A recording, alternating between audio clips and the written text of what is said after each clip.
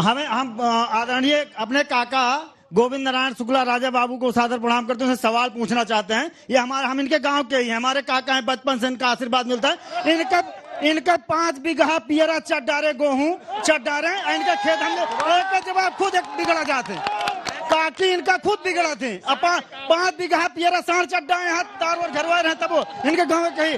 काका को सादर प्रणाम करते हैं। ये पूरा